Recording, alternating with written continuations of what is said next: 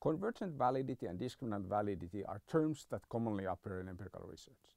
In fact, these are some of the most commonly used validity terms in at least management literature. What are these terms and what are the concepts that they refer to? Let's take a look at an example. So this example comes from Yli-Renko and our co-authors.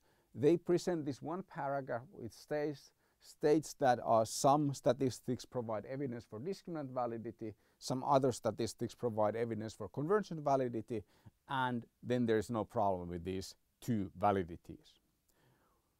Unfortunately, there is a lot of confusion about these two terms and what specifically they refer to, how exactly they should be evaluated, and if there's a problem, what should be done about that problem.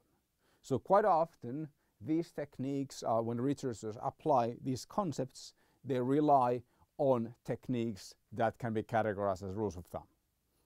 Why is, why is that? It relates to the history of how these two terms were introduced to the literature. The terms first appear in this article by Campbell and Fiske from 1959 and that article actually presented the terms without any definitions.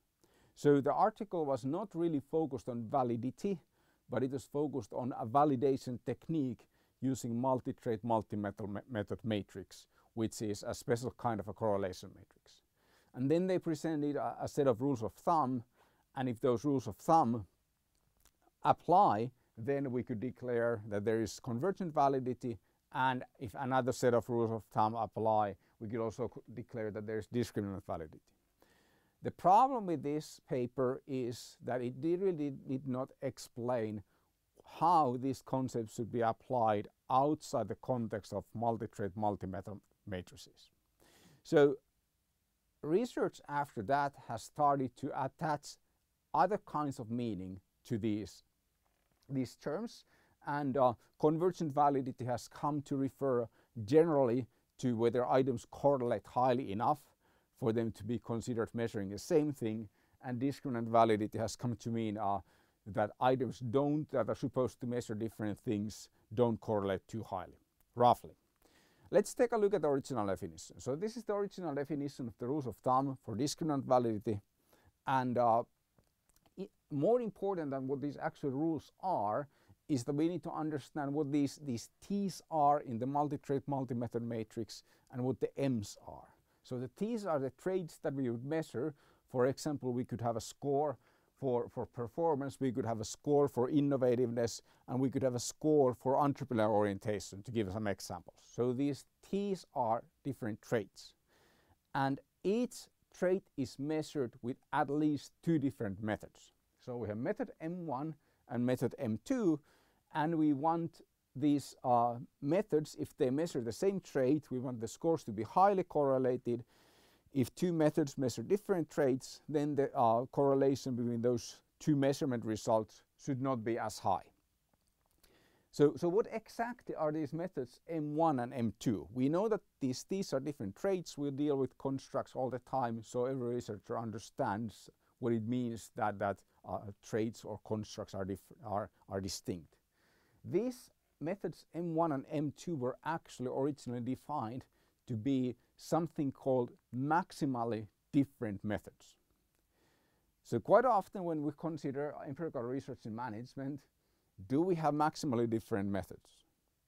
We, if we have a cross-sectional survey, then all the items, all the constructs that we have in the, in the data, they are measured the same way. So we use the same kind of measurement procedure for all of our constructs.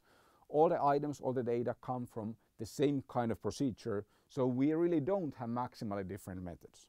So, so what should researchers do in that situation?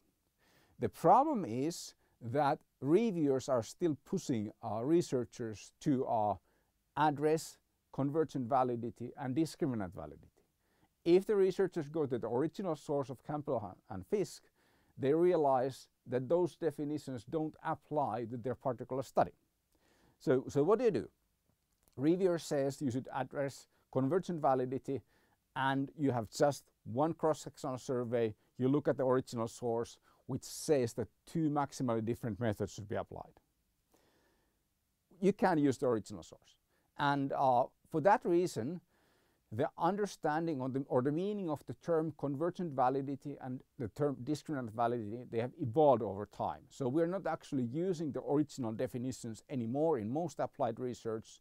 Instead, uh, we have this current practice that convergent validity refers to generally uh, to a correlation between items that are supposed to measure the same thing regardless of whether we measure them using the same method or different methods. So that is the practice. And this of course makes it very difficult to say uh, what is the difference between convergent validity and uh, reliability if you have uh, these uh, parallel forms or, or distinct tests kind of reliability statistics like coefficient alpha. And discriminant validity has come to mean uh, refer to the fact whether two scales or a correlation calculated from two scales is sufficiently low to be uh, able to conclude that these two scales actually measure two different constructs. So, so this is how the meaning of the terms has evolved over time and uh, because of this evolution of meaning, the current practices in indiscriminate validity and convergent validity statistics and evaluation is actually quite far from the original work by Campbell and Fiske.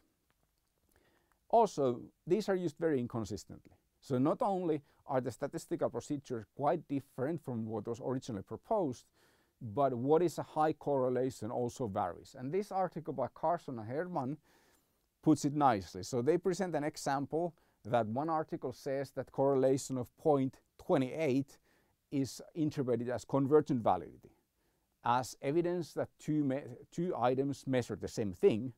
And then in another, another study, a correlation of 0.75 is interpreted as evidence for discriminant validity.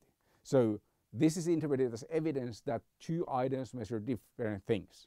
So this is basically a pick your result kind of scenario. You just go for the, the statistic, go for the rule of thumb that makes your paper looks nice, and then you report it. So of course, uh, this is not good research practice. We need to have a, a, lot more rigorous approach on what actually convergent validity and discriminant validity mean. And I will talk about that in another video.